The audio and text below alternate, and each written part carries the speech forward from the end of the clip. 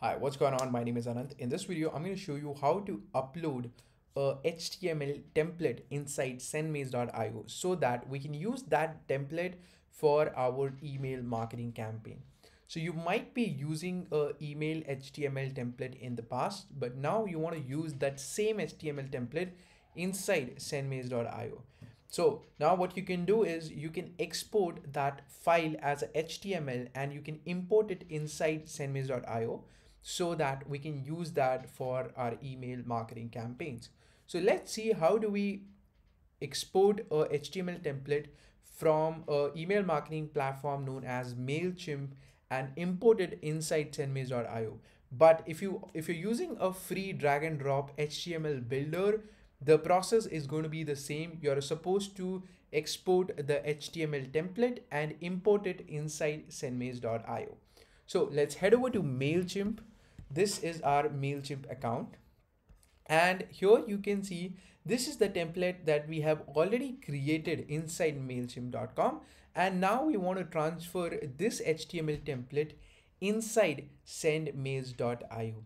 But let me just first show you the template that we already have. We have created this template using a drag and drop builder, which you already get inside sendmails.io. But as you can see, this is the drag and drop builder and this is the template that we have over here. And now we want to use the same HTML template inside sendmails.io. In order to do that, I'll have to export this template. So all you need to do is head over to your campaign, go to the email templates, and this is where you're supposed to export this template as a HTML template.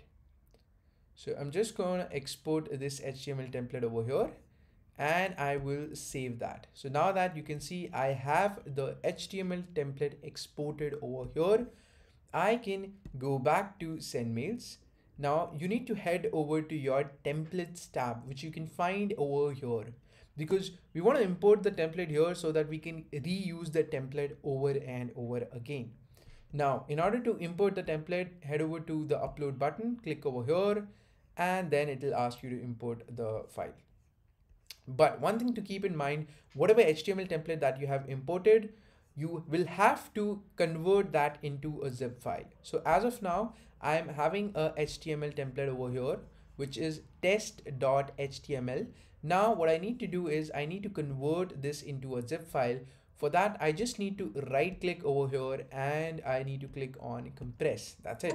And that, that's the exact same process how it works in a Windows as well. You just need to zip the file. Once you have um, zipped the file, now you need to drag and drop the file over here and you can name it whatever you want. I'm just going to name it as a test template MailChimp. and I'm going to click on upload and that's it. Now, as you can see, our email template is now ready. And if I click over here, I'm getting the same template inside sendmails.io. In the next video, I will show you how to use this template inside our email campaign. Till then, bye-bye. And if you have any questions, drop it down in the comment below.